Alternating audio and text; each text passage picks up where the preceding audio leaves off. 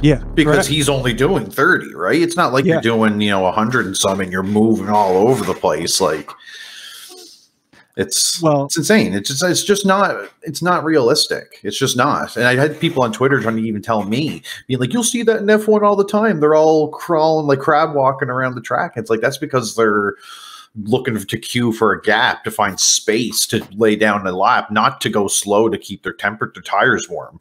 Like you, how many times did we have to hear Max last year behind the pace car, absolutely losing it because he can't. There, no one can keep the the tires warm because they think the pace car is going too slow. Yeah, uh, yeah, that's exactly right. And in a, in a GT car, uh, which is what a lot of these exploits will be in, or the Porsche um, 992 Pesek, uh, we'll talk. We'll touch on that. Uh, you don't see it in any IMSA races quite like that. You don't see what he's doing in this video in these IMSA races at a real race.